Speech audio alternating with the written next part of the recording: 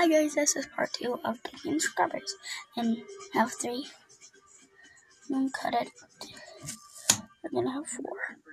I mean, we're gonna have five.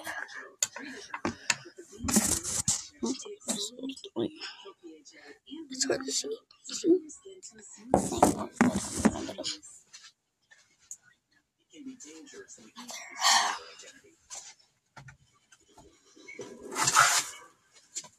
Lunch.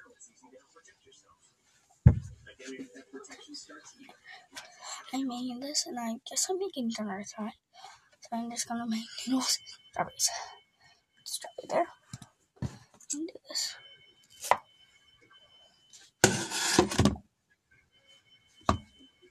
Be careful.